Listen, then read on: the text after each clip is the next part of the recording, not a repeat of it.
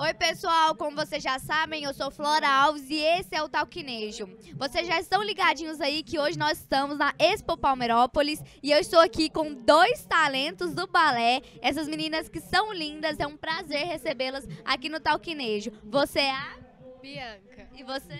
Mariana. Meninas, vamos começar. Contem pra gente, cada uma, como surgiu essa paixão pelo balé. Você pode começar, Bianca. É, eu, desde pequena, eu sempre quis participar do balé. Mas eu nunca pude, porque quase não tinha tempo. Eu ficava integral na escola, por causa do trabalho da minha mãe.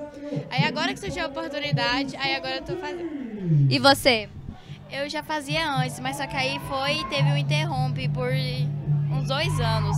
Aí agora eu estou de volta. Por conta da pandemia? Sim, E vocês estudam aqui em Palmeirópolis? Como é que é a rotina de vocês? Eu estudo aqui em Palmeirópolis. Eu, fico, eu sempre fiquei, morei aqui desde os meus 4 anos. Quatro anos? Sim. Muito tempo já, né? E você? eu moro aqui e estudo aqui, desde criança. Esse é um projeto é, da Ação Social e da Secretaria de Educação. E eu gostaria de saber como vocês se sentem sabendo que a Prefeitura de Palmeirópolis está dando essa oportunidade para jovens, né, para meninas, para meninos também que querem dançar balé, que querem aprender mais sobre essa arte. Como vocês se sentem sobre isso? Olha, eu me sinto bem, porque eles estão dando várias oportunidades para quem quer concorrer mais pra frente.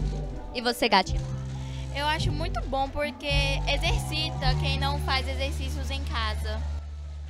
Gente, essas duas gatinhas já se apresentaram hoje. Quer acompanhar mais um pouco desse evento, dessa festa? Esse é o Talquinejo, juntamente com o Mapa da Notícia, que é o nosso jornal diário aqui de Palmeirópolis. Fique por dentro de tudo que vai estar acontecendo nos próximos dias. Eu sou Flora Alves e até daqui a pouco.